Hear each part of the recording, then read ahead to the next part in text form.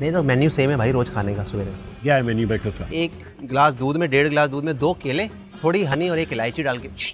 ठंडा smoothie smoothie